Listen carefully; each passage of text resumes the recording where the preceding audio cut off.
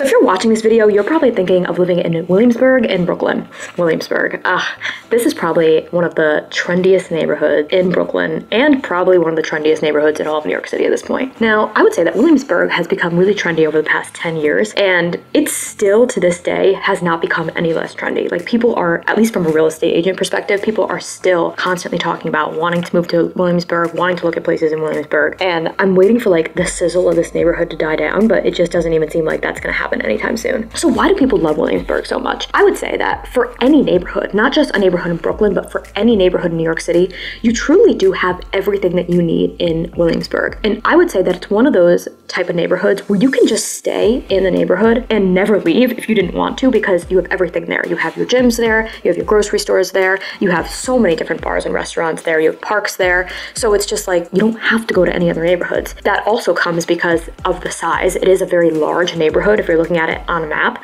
compared to other neighborhoods, especially neighborhoods in Manhattan that tend to be rather small. So that also is a reason, but you can just stay in your own Williamsburg bubble and just never leave. We're gonna go into detail in this video about some of the things that you might love about Williamsburg. So Williamsburg definitely has a nightlife scene for sure. Now it has a nightlife scene like on the raging side where you can just go all night. So and then on the other side it also has kind of like a low key bar scene as well. So if you just want to like casually drink throughout the night at a more like dive bar esque type of place, so you also have that in Williamsburg too. So I would say that when it comes to a nightlife perspective, there's kind of something for everyone. Not everybody wants that low key like dive bar nightlife either. So you kind of best of both worlds here. So there's on, top of the nightlife, there's also live music and an art scene in Williamsburg as well. In New York City, I feel like people expect more neighborhoods to have live music than most neighborhoods do. So I feel like there are a couple top neighborhoods that are really, really known for their live music scene. And Williamsburg is probably one of those top ones, even without it being in Manhattan. Now, with such a thriving like art scene and music scene, there's even like a sports bar scene in Williamsburg as well. So there's a couple different sports bars that get like gigantic crowds on game days. And that's like a whole scene in itself there. So as you can tell from the theme of this video already, there's literally something pretty much for everybody in this neighborhood. And that's why I do understand why so many people are drawn to Williamsburg because it really does cater to everybody if you kind of think about it and really break the neighborhood down. So one of my favorite things about Williamsburg is they have tons and tons of really, really great authentic coffee shops. Honestly, it's probably like coffee capital of New York City. If anyone could think of a better coffee capital in New York City, like another neighborhood, please share in the comments because I can't really think of anything off the top of my mind. Like it's definitely in Brooklyn for sure. And I, I want to say Williamsburg just because there's so many really, really great coffee shops that have came out of Williamsburg. Like it's unbelievable.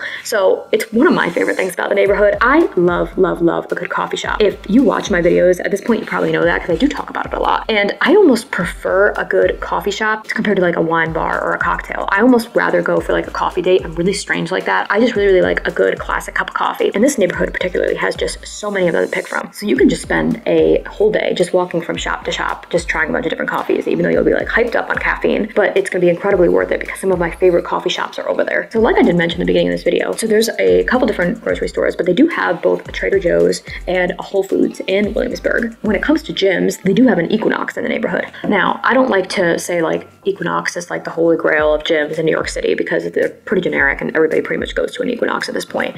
But at the same time, I do like to mention it because as a real estate agent, it is a question I do get a lot of times. A lot of people are already a member of Equinox, so if they're moving to a new neighborhood, if they can either transfer their membership or if they have the pass to go to all different locations, then that does help them as well. So that's why I mentioned Equinox. But there are also a lot of really, really great boutique gyms as well in the neighborhood, like a good amount of them. So when it comes to fitness, I do think that there's like something for everybody there as well if you like like different types of workouts too. Now because Williamsburg has so much in the neighborhood, it tends to be very very expensive. And that shouldn't come to a surprise to anybody because not only is there so much in the neighborhood, but if you also look at Williamsburg on a map, it is a waterfront neighborhood. And waterfront neighborhood comes with amazing views of New York City. So that is fantastic, of course, because who doesn't want a view of New York City from their apartment? But at the same time, it's pricey because of those views. So there are some neighborhoods that are pretty much just as expensive as Manhattan because you're getting a view of Manhattan and it's also a great neighborhood. And that's definitely the case with Williamsburg. So you can find apartments that are cheaper for sure than some Manhattan neighborhoods in Williamsburg. However, there are going to be some that are going to be very comparable to some Manhattan neighborhoods. Williamsburg, I would say that from a real estate standpoint, there are some really, really really cool apartments in Williamsburg. You're gonna have some that are gonna be like your standard apartments. You're gonna have some kind of almost like loft style apartments as well. So some of the new construction here also is just absolutely incredible. There's gonna be a lot more new construction as a whole in Brooklyn than there is in Manhattan just because there's more space to build in Brooklyn. So it's allowed more than it is in Manhattan.